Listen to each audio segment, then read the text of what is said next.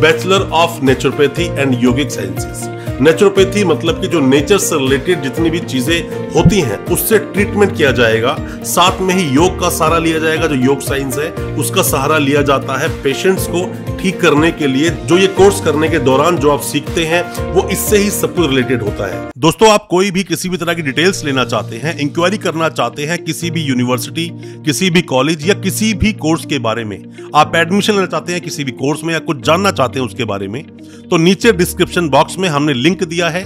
Link पर आप जैसे ही क्लिक करेंगे, एक फॉर्म आएगा फॉर्म को आप फिल करें। चार ही डिटेल्स हैं उसके अंदर, नाम है आपका, आपकी मेल आईडी है फ़ोन नंबर है, और किस स्टेट से आप हैं, और कुछ भी अगर आप स्पेशल कमेंट में डालना चाहते हैं, कुछ अलग से जानकारी चाहते हैं और कुछ भी आप लिखना चाहते हैं, जैसे कुछ डिटेल में आप जानना चाहते हैं तो वही जो बॉक्स है, उसके अंदर अपनी क्वेरी को आप टाइप करें और भेज दें हमें। हम आपसे पर्सनली कॉन्टेक्ट ज़रूर करेंगे और आपके हर तरह के सवालों के जवाब हम आपको ज़रूर देंगे। दोस्तों, जिस तरह से बाकी जो मेडिकल कोर्सेज आते हैं, जैसे कि एमबीबीएस की बात करें बीडीएस की बात करें B A M S B U M S या बी एच एम एस की बात करें, या फिर कई सारे स्टूडेंट बीपीटी भी करते हैं बीएससी नर्सिंग भी करते हैं, ऐसे ही एक कोर्स का नाम अक्सर आपके सामने आता है और जिसमें बहुत सारे स्टूडेंट्स हर साल एडमिशन लेते भी हैं। वो होता है बी एन वाई एस मतलब की bachelor of naturopathy and yogic sciences दोस्तों, इस कोर्स को करने के लिए क्या एलिजिबिलिटी है? आपके ट्वेल्थ में कितने परसेंट मार्क्स होने चाहिए। किन सब्जेक्ट के साथ आप पास करोगे? ट्वेल्थ को तो आपका एडमिशन होगा। कौन से अच्छे कॉलेजेस हैं? फ़ीस क्या है इस कोर्स की? इस कोर्स को अगर आप करना चाहते हो तो उस कॉलेज के पास में कहाँ से अप्रूवल होना ज़रूरी है? और साथ में ही अगर आप B N Y S course को करना चाहते हो तो क्या नीट क्लियर करना आपके लिए ज़रूरी है? और क्या इस कोर्स के साथ में ही जो एमबीबीएस का सिलेबस होता है, वो कितना परसेंट मैच करता है? ऐसे कई सारे सवाल जो आपके दिल में है। आज उन सभी का जवाब देने की कोशिश करेंगे अपनी इस वीडियो के माध्यम से। ज़्यादा कुछ जानने के लिए दोस्तों बने रहिए हमारे इस वीडियो के साथ। नमस्कार दोस्तों, फिर एक बार आप सभी का तहे दिल से स्वागत करता हूँ अपने इस यूट्यूब चैनल पर, जिसका नाम है काउंसलिंग इंडिया और मेरा नाम है वीरेंद्र वर्मा। जैसा आप सभी जानते हैं, हम देश विदेश की यूनिवर्सिटीज कॉलेजेस उनके कोर्सेज को एक्सप्लोर एंड रिव्यू करते हैं और आपको बताते हैं सब कुछ जो आप जानना चाहते हैं। दोस्तों B N Y S course के लिए पहले आप समझिए फुल फॉर्म क्या बोलती है। Bachelor of naturopathy and yogic sciences naturopathy मतलब कि जो नेचर से रिलेटेड जितनी भी चीज़ें होती हैं, उससे ट्रीटमेंट किया जाएगा। साथ में ही योग का सहारा लिया जाएगा, जो योग साइंस है, उसका सहारा लिया जाता है पेशेंट्स को ठीक करने के लिए। जो ये कोर्स करने के दौरान जो आप सीखते हैं, वो इससे ही सब कुछ रिलेटेड होता है। बैचलर डिग्री एक ये कोर्स होता है, इसके ड्यूरेशन की बात करें, साढ़े पाँच साल का टोटल ये कोर्स है इंक्लूडिंग इंटर्नशिप इंटर्नशिप एक साल की होती है, जो करना अनिवार्य होता है, वो करना कंपलसरी है। वो आप अगर नहीं करते हैं तो कोर्स इनवैलिड आपका बिल्कुल हो सकता है। इस कोर्स को करने के लिए सबसे पहले तो आप ये समझ लीजिए कि इसके अंदर किसी भी तरह की एक्स्ट्रा मेडिसिन और साथ में सर्जरी का सहारा नहीं लिया जाता।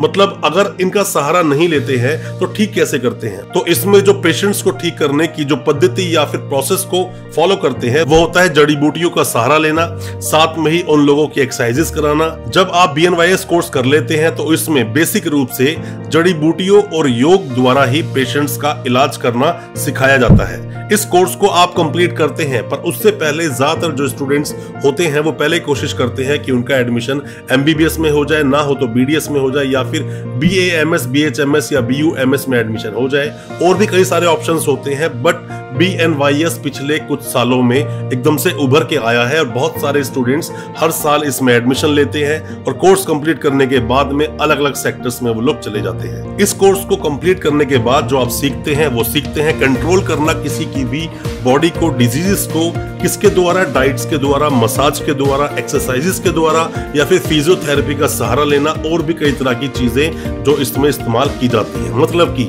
किसी भी उस व्यक्ति का जो बीमार है, उसके उस बीमार शरीर का जो आप ट्रीटमेंट करते हैं, वो सिर्फ़ ट्रीटमेंट करते हैं नेचुरल प्रोसेस के द्वारा। नेचुरल प्रोसेस से ही उसको ठीक किया जाता है।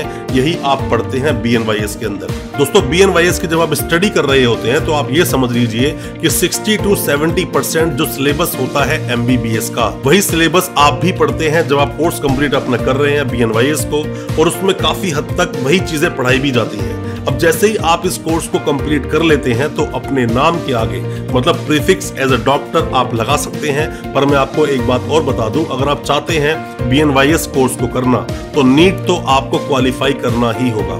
नीट जो एक एलिजिबिलिटी टेस्ट होता है वो कंप्लीट करना किसी भी मेडिकल कोर्स के लिए अनिवार्य एक चीज़ है। अगर आप वो एंट्रेंस टेस्ट क्लियर नहीं करते हैं तो आप एडमिशन भी नहीं ले पाएँगे। मिनिमम ट्वेल्थ में आपके 50 परसेंट मार्क्स होने चाहिए और आपके पास पीसीबी है मतलब फिजिक्स केमिस्ट्री बायो आपके पास है तो आप एडमिशन इस कोर्स में आप बिल्कुल ले सकते हैं और कोर्स कंप्लीट करने के बाद अपने नाम के आगे आप डॉक्टर लगा सकते हैं। साथ में ही हम बात करें कि बी को अप्रूवल कौन देता है? दोस्तों, जिस तरह से कि सभी अलग अलग कोर्सेज को अलग अलग काउंसिल बॉडीज अप्रूवल देती हैं। जैसे कि एमबीबीएस की बात करें तो वहाँ MCI medical council of India का अप्रूवल होना ज़रूरी है कॉलेज को। साथ में बीडीएस की बात करें तो वहाँ डेंटल काउंसिल का अप्रूवल होना बहुत ज़्यादा ज़रूरी होता है।